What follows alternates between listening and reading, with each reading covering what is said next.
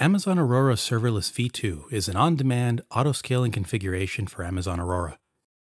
It scales instantly to service hundreds of thousands of transactions in a fraction of a second, adjusts its capacity in fine-grained increments, and can save up to 90% of your database costs compared to provisioned capacity for peak loads.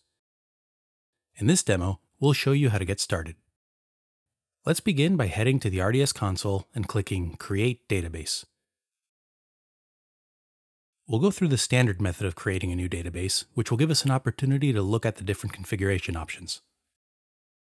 First, we select Amazon Aurora as the desired engine type, and then choose between PostgreSQL compatible or MySQL compatible editions. Let's use the MySQL compatible edition. Amazon Aurora Serverless v2 is available with specific versions of MySQL or PostgreSQL, and we can enable a filter to ensure the version we choose supports it two sample templates are available. The production sample template will do a multi-AZ deployment with an Aurora replica in a different availability zone. This is the recommended approach for high availability. Let's provide an identifier for our cluster and call it My Aurora Database. For the database credentials, let's use admin as the username and let RDS auto-generate a password for us. We select serverless as the instance class and we can configure the capacity range by specifying a minimum and maximum number of ACUs.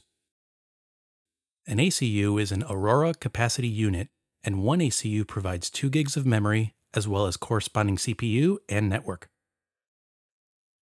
Securing our database is achieved by making it accessible only through our existing VPC and by denying public access. We create a new security group that will restrict traffic. We then click on Create Database and in just a few minutes, our database will be ready to be used. We can get the auto-generated password by clicking on View Credential Details,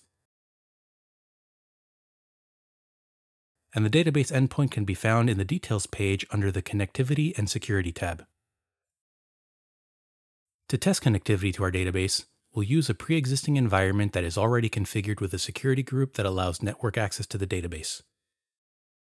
After running this command using the database endpoint and credentials, we've established a connection and are now able to run SQL queries. In the first part of this demo, we showed how to create a new Aurora Serverless v2 cluster. But what if you already have an existing Aurora cluster? If your cluster's engine version supports Aurora Serverless v2, then switching to Aurora Serverless v2 doesn't require an upgrade. You can just add Aurora Serverless v2 DB instances to your original cluster and switch the cluster to use all Aurora Serverless v2 DB instances. Let's take a quick look at how to do that. First, we select our existing cluster and click Add a Reader. We provide an identifier.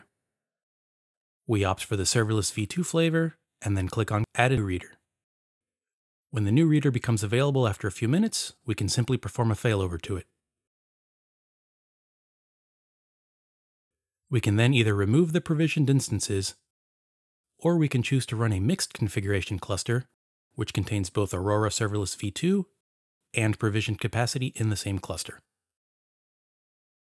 To learn more about how to get started with Amazon Aurora Serverless v2, please visit the link shown below.